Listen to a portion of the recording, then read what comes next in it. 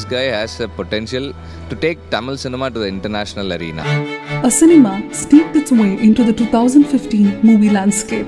In a box office ruled by big money, here was a man with big dreams. Kaakka Muttai was a movie that needed to be made and only by someone who had the courage and the conviction to see it all the way through. A film on two brothers, the movie stunned the audience. Complex issues like class divides, poverty, globalization, sensationalism, and human values intertwined.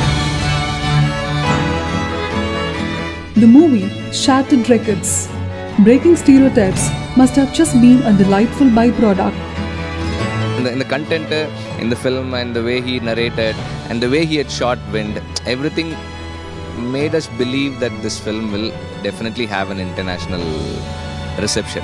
International it went, conquering hearts and earning immense respect at prestigious international film festivals. Manikandan and team wore earnestness as a proud badge, made it a part of their identity.